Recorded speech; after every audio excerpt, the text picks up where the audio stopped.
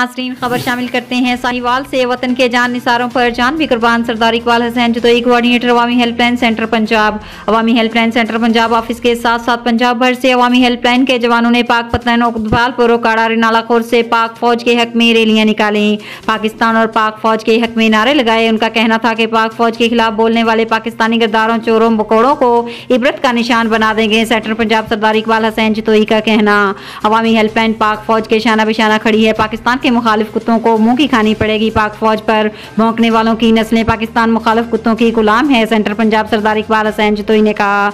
इंशाल्लाह पाकिस्तान और पाक फौज के मुखालफों को इनके नापाक मकासद के साथ पूरे अहतमाम से दफन कर देंगे। रैली में बहुत ही बड़ी तादाद में लोगों ने शिरकत की। एडवोकेट समीउल्ला तारिक, हाजी अली शेर लशारी, साकब बलोच समेत सियासी समाजी शख्सियत, सहाफ़ी बरदरी और तमाम कोआर्डिनेटरों ने भरपूर शिरकत की। आखिर में सरदार इकबाल हसैन जतोई ने कहा, जब तक ये कौमी चोर, कौमी गरदार पाक फौज से माफ़ी नहीं मांग लेता तब तक एहतजाज का सिलसिला जारी रहेगा। चीन नाजरीन, आपको लिए चलते हैं जहाँ पर सेंट्रल पंजाब सरदार इकबाल हसैन जतोई पाक फौज यकजहती रैली से खताब कर रहे हैं। को पता है और हर पाकिस्तानी बाज़मीर है। मैं आप पाकिस्तानी से गुजारिश करता हूँ कि किसी भी पार्टी या तंजीम के वर्कर होने से हट के एक पाकिस्तानी होने के नाते ये सोचें कि जो पाक फ़ौज के ख़िलाफ़ ज़बान उठाई गई, क्या ये काबिल बर्दाश्त है?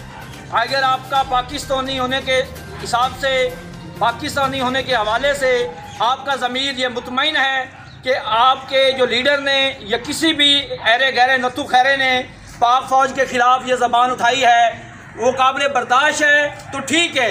हम भी आपके साथ हमें उस पर मुतमिन करें कि वो बंदा किस हद तक ठीक है।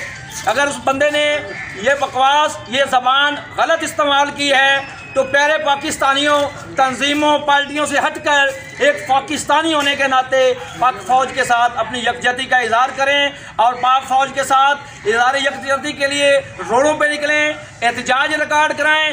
जब तक जब तक ये नया अहल और चोर और मकार और मलक से, मुलक से भागा हुआ भगौड़ा पाक फौज से माफ़ी नहीं मांग लेता, तब तक ये एहतजाज और आपका रैलियों का सिलसिला ऐसे ही जारी रहना चाहिए, ताकि पाक फ़ौज की इसमत को हम ऐसे ही कायम रह सकें, ऐसे नथु खते और जो है नथु फतू खैरे को, की ज़बान से पाक फौज को कोई फ़र्क नहीं पड़ता।